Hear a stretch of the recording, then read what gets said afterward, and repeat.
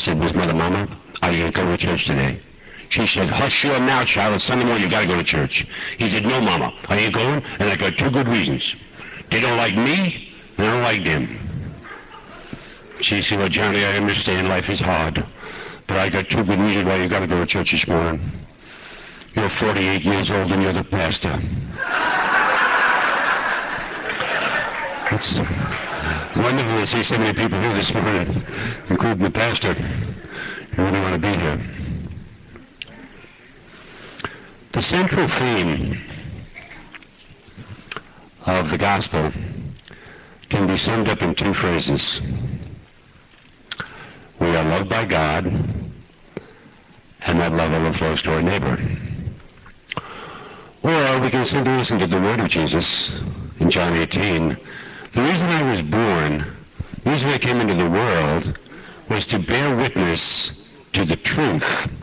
Now, the word truth in Hebrew is described by the word emet, E-M-E-T-H, with the H on the end mute or silent. Emet in Jewish thought means the reliability of God's love. If you met an Orthodox Jew on a downtown street in Los Angeles tomorrow and asked him, what do you understand by the word truth in the Bible? He would answer, Emet. That's the reliability of God's love. Jesus lived only for this, to bring home to us the truth that we are loved by God, that this love is to be relied on no matter what we may do. God loves us as we are, not as we should be, and He will always love us as we are, and not as we should be. This is what Paul captures in his second letter to Timothy when he writes, We may be unfaithful, but he is always faithful. For God cannot disown his own self.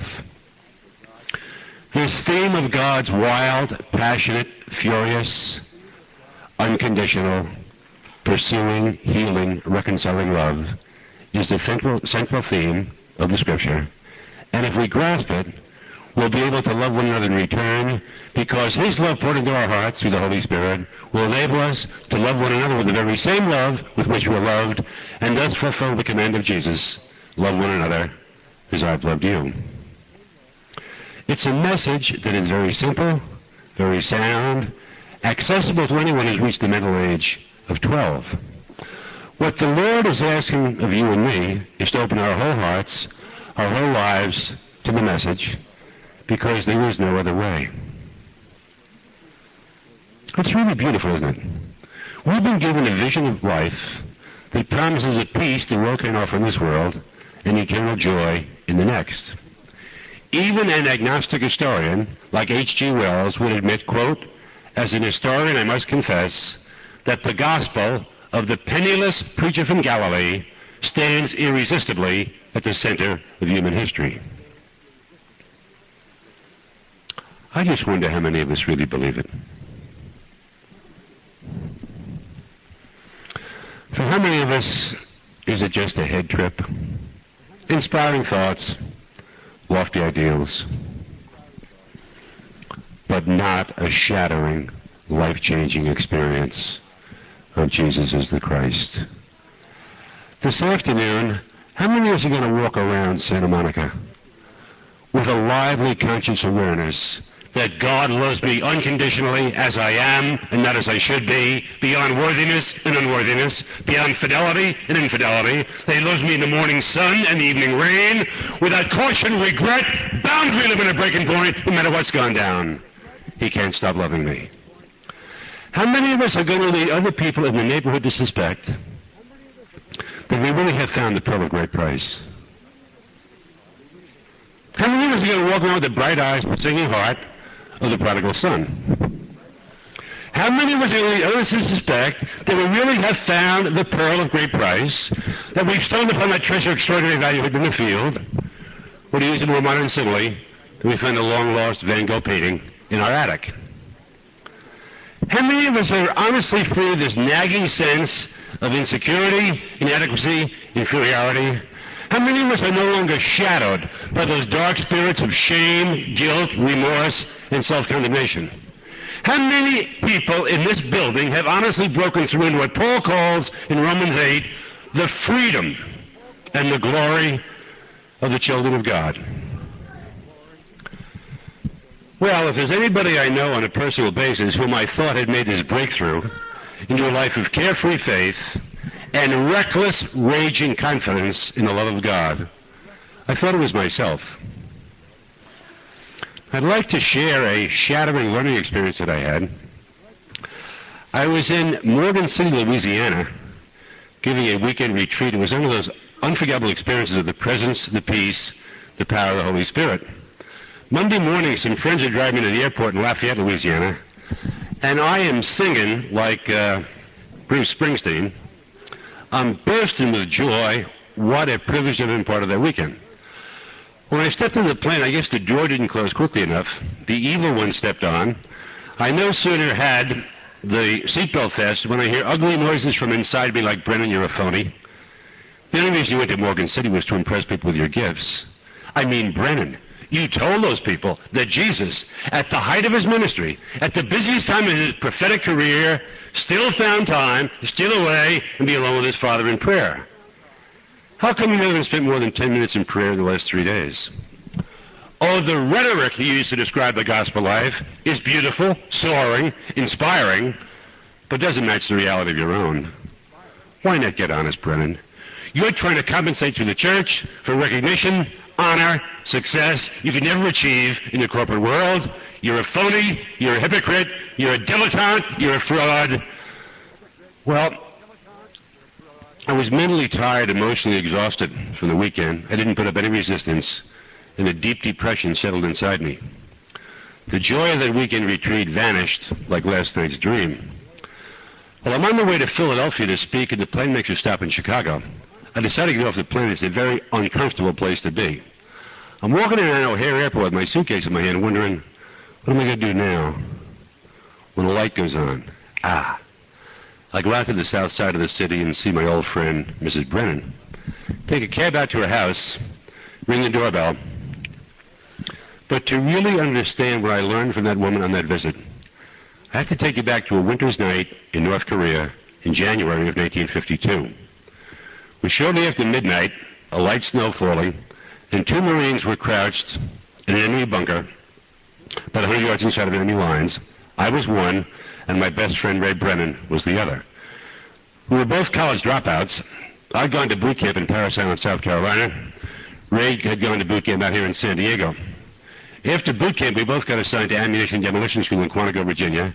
There we became tight, really fast friends. He came up to Brooklyn, New York to visit my parents. I met his. And then we came out here to Oceanside, California for advanced infantry training. We arrived in Busan, Korea in the fall of 1951. That night in the bunker, we were preparing in about two to three hours to creep and crawl out in front of us to sweep the terrain of anti-personnel mines so our uh, battalion could move up for an assault in the morning. We're passing a chocolate bar back and forth.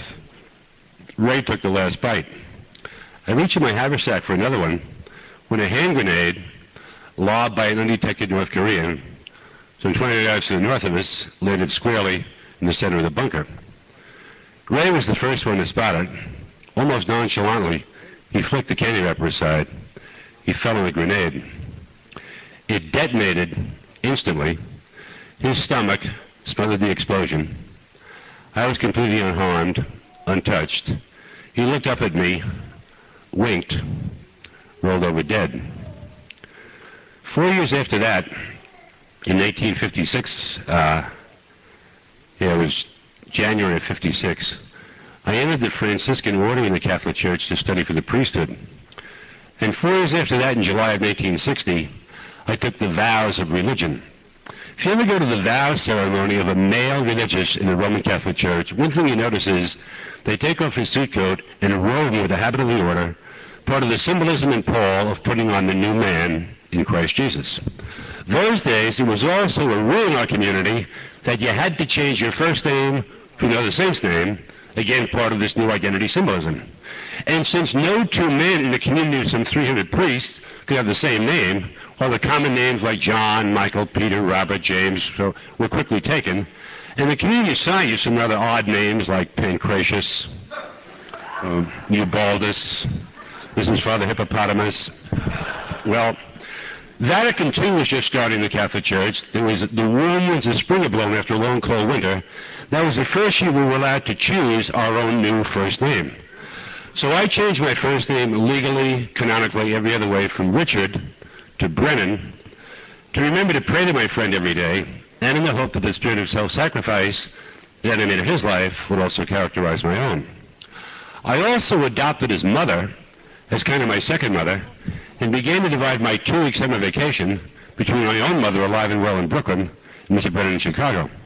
But I'd never go visit without writing a couple of weeks in advance or telephoning. But on the way back from Louisiana in the throes of that depression, I just arrived unannounced. She opened the door. We had a warm embrace. And then we went to the living room and we spent the afternoon in almost the identical fashion that we had spent previous visits. She turned on the TV.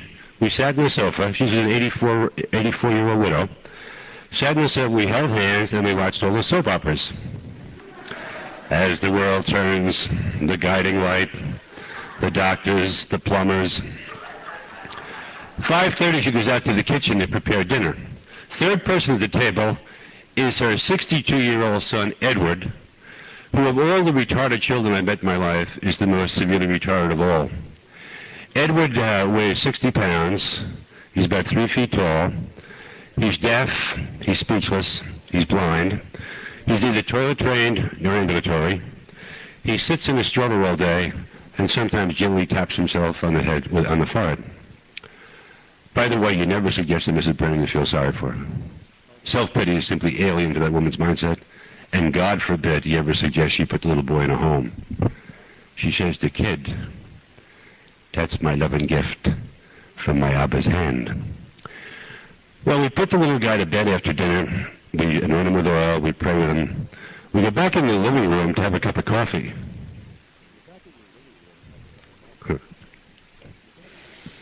This is just a brief digression that just popped into my mind. It's the way Mrs. Brennan prays, which is really unusual. One night, it's a Saturday night, we're sitting watching Columbo. We're both big, big Peter Falk fans. In the middle of the program, the phone rings out in the kitchen. She is a really spry, mentally alert woman. She runs out of the kitchen, picks up, it's her sister. And her sister says to Mrs. Brennan, Francis, I got this terrible migraine, top of my head, down my neck, through my back, base of my spine. I couldn't sleep 10 minutes last night. I want you to go and ask Jesus to heal me. Mrs. Brennan says, consider it done. She goes into the living room, and she kneels down in front of the TV. Why? Because atop the TV is a statue of the infant of Prague. Now, this is a devotion the Catholic Church supposedly in the 1500s, the infant Jesus appeared in Prague, Yugoslavia, and all these miracles happened. Well, Mrs. Brennan's got the statue, it's about that high, in a gold, in a glass case over it, and there's a different mantle, a cloak for the different uh, liturgical seasons. So in Lent, she has a, a purple cloak. For Christmas, she has a white one. And for the martyr, she has a red one. For the Feast of Mary, she got a blue one. And Mrs. Brennan has all these different cloaks the different males, and she scrupulously changes them on the right day. She kneels down, and this is how she prayed. Now I'm going to see what's happening to Columbo. She said, Dear Jesus, just heard the phone, right? Yeah. My sister. Migraine. Head, neck, back, spine. Can't sleep. Jesus, I want you to heal her. And kid, if you don't, I ain't changing your clothes tomorrow.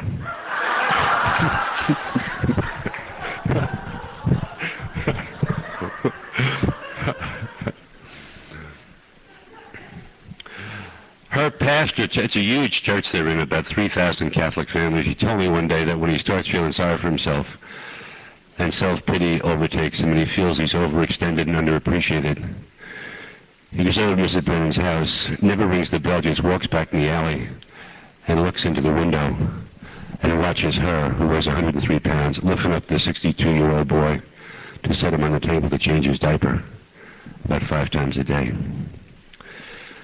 Well, anyhow, Mrs. Brennan and I go back in the living room, having a cup of coffee, and we start to reminisce about the good old days when Ray was alive.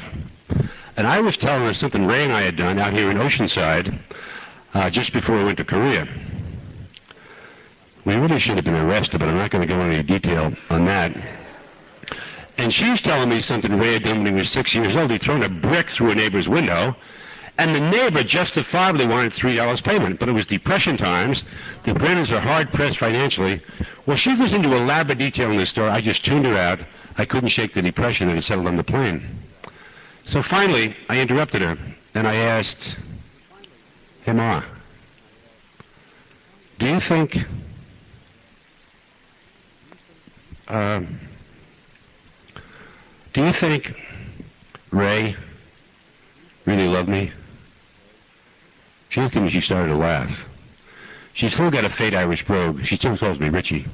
She said, Richie, you're the craziest man I ever met my whole life. You're always fooling around. You can't ever be serious. And for reasons I still don't fully understand, I said to her, but I am serious. Then for the first time all the years I've known her, I saw fear in her eyes.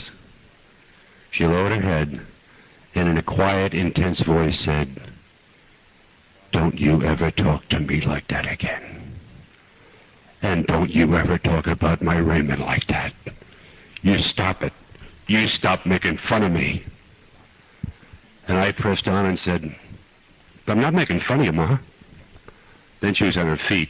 The fear was gone. The anger was blazing in her eyes. She looked at me and she screamed, Jesus Christ, could done for you? Now you tell me that. What more could he have done for you? And then she lowered her head in her bosom, began to sob, and it was the same question, unbearably, endlessly repeated. What more could he have done for you?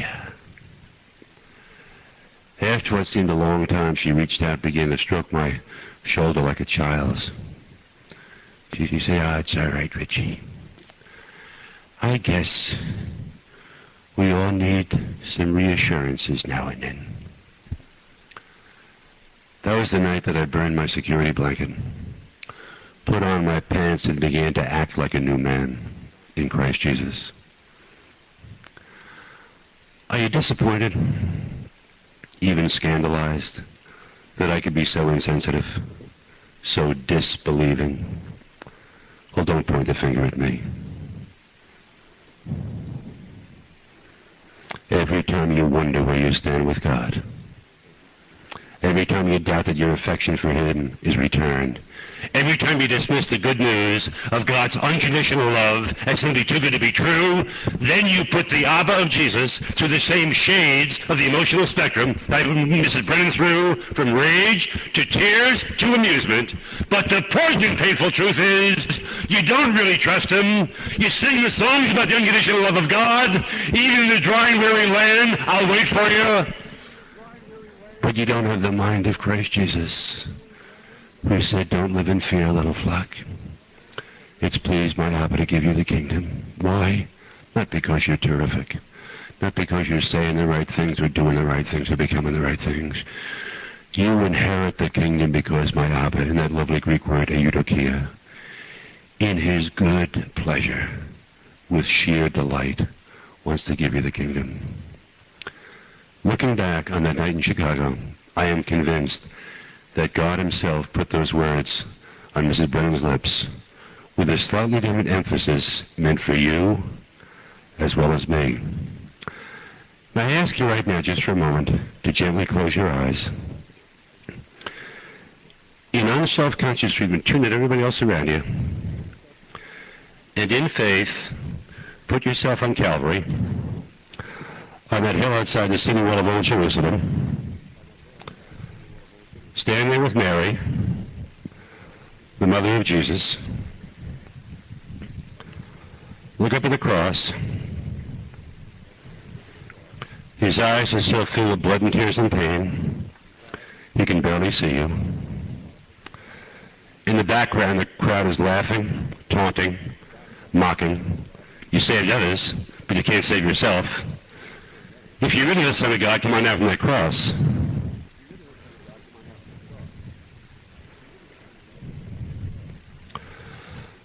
look up at the cross. Jesus' eyes are so filled with blood and tears and pain. He can barely see you.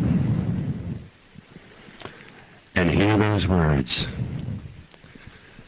Jesus Christ, man, what more could he have done for you? Reach out your hand, put it around his mother Mary. Say something like, Mary, I've been going to my church, hearing a lot of inspiring, uplifting things. And I really want to follow your son Jesus. But I'm really pretty flaky. Shallow prayer life, inconsistent discipleship, wide mood swings.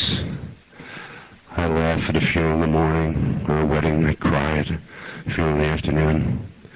Mary, I'd like to be stable. I'd like to commit myself fully to your son. Just speak a word to me that'll convict me in my faith. And see Mary turn to him and in a quiet, intense voice say, Don't you ever talk to me like that again. And don't you ever talk about my son Jesus like that. You stop making fun of me. Lift your eyes beyond the cross to your Heavenly Father. Say something like, Abba, I know the cost of discipleship today is high, even exorbitant.